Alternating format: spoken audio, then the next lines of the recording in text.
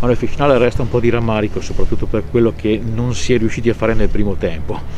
Certo, è stata una, una partita molto difficile, abbiamo cercato di, di, creare qualcosa, però non siamo riusciti a arrivare puliti sulla tre quarti, però comunque il pallino del gioco nel primo tempo eh, lo avevamo, eh, però non siamo mai stati veramente pericolosi.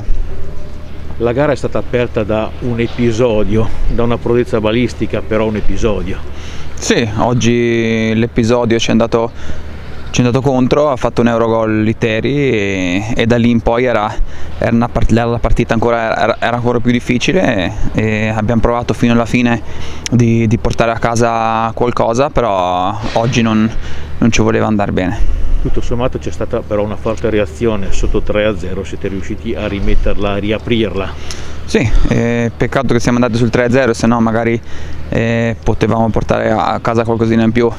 E adesso dobbiamo cancellare questa partita in fretta e guardare avanti, cioè abbiamo ancora due partite da giocare, poi si vedrà dove, dove, dove, dove, andiamo a finire. Anche perché è dimostrato che non ci sono certezze.